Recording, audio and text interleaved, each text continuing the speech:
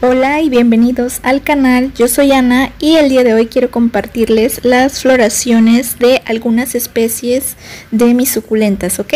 Voy a comenzar con estas que se tratan de las Equeverias imbricatas y esta es su floración por si no la conocían.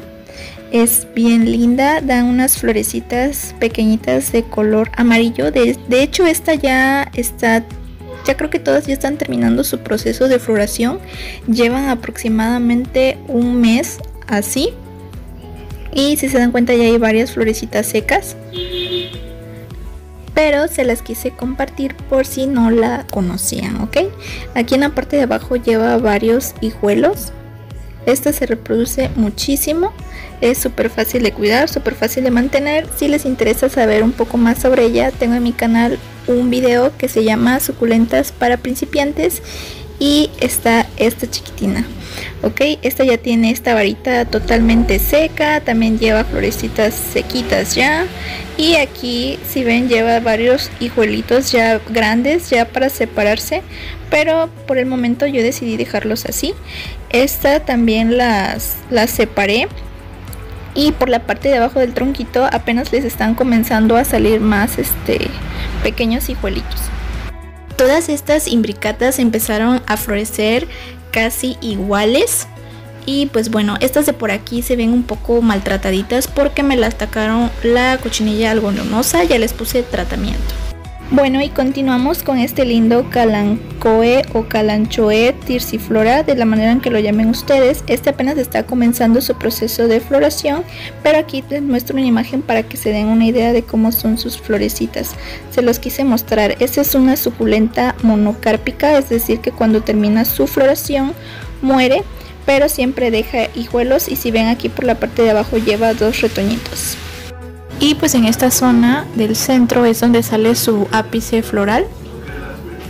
Esta tiene aproximadamente conmigo dos años y medio. Y vean lo hermosa que está. Cuando se pone el sol directo torna unos colores rojizos súper vibrantes.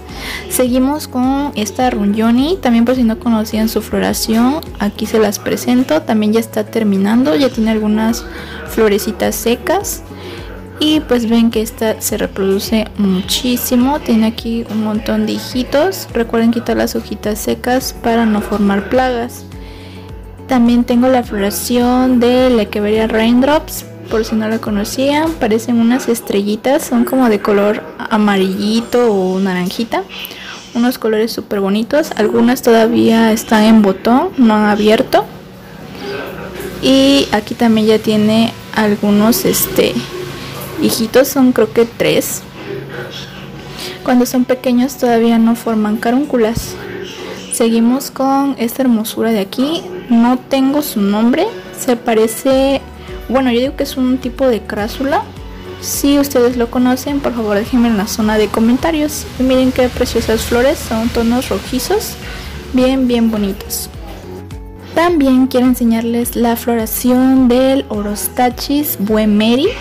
Esta también es una planta monocárpica ya que al florecer muere también, pero siempre deja un montón, montón de hijos. Esta se reproduce súper fácil y esta está sembrada aquí en un recipiente de, antes era un extractor. Prefieren recipientes o macetitas más anchas que profundas porque no generan mucha raíz.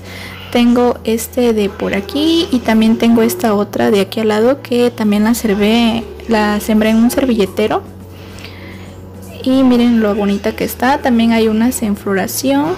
Todas estas que están floreando en un futuro pues van a morir. Pero florecitas nacen como en racimitos alargados y son de color blanco. Son bien bien chiquitas. Y continuamos con esta hermosura que es una rulosa este es su ápice floral, da unas florecitas con tonos rojizos, en su mayoría no han abierto, ya también tienen aproximadamente como un mes.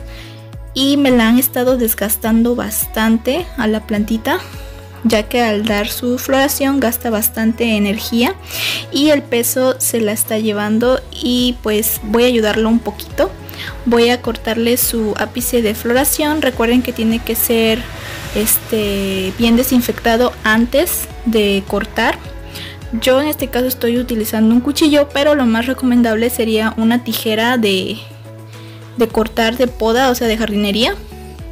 Solamente que yo no tengo, pero pueden hacerlo igual con, con un cuchillito con mucho cuidado, recordando desinfectar y posteriormente colocar en herida, ya sea cal, azufre en polvo o canela si a ti te funciona. No, lo que voy a hacer con estas varitas florales va a ser utilizarlas para reproducir.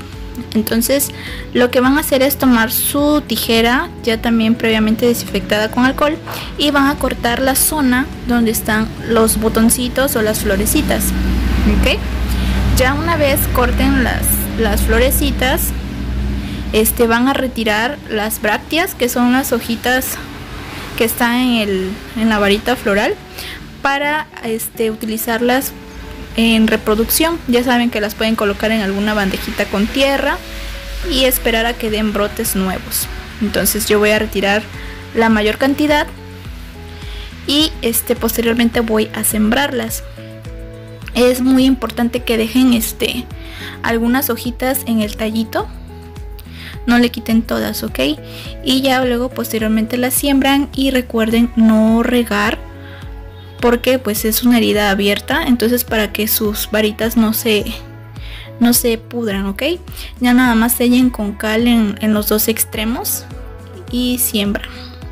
Y bueno, en su mayoría yo siempre dejo las varitas florales en las suculentas ya hasta que se secan solitas se caen y se retiran. Pero este fue un caso especial ya que quería mostrarles a ustedes otra manera de reproducir y también para ayudar un poquito a la plantita a la rulosa para que no se siguiera desgastando porque si gastó mucha mucha energía en dar estas varitas florales. Se le cayeron un montón de hojas perdió muchas.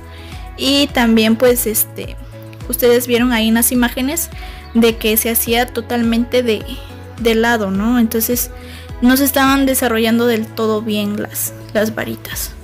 Por eso es que en las, en las florecitas, en los botones, este, se empezaron a ondular buscando la luz, porque como ya se fueron muy de lado, por eso se hicieron así. Ya posteriormente nada más coloco las hojitas para reproducir y listo. Y pues bueno, espero te hayas quedado hasta el final. Si te gustó el video, no olvides regalarme un like. Gracias por ver el video. Bye.